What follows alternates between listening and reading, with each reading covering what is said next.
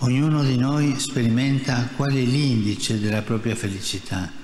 Quando ci sentiamo ripieni di qualcosa che genera speranza e riscalda l'animo e viene spontaneo farne partecipe gli altri.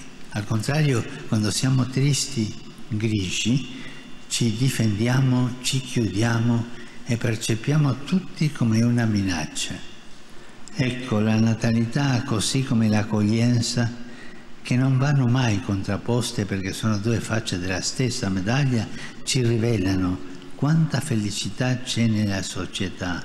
Una comunità felice sviluppa naturalmente i desideri di generare e di integrare, di accogliere, mentre una società infelice si riduce a una somma di individui che cercano di difendere a tutti i costi quello che hanno e tante volte si dimenticano di sorridere. Il governo eh, ha messo i figli, eh, i genitori, le mamme, i papà in cima all'agenda politica.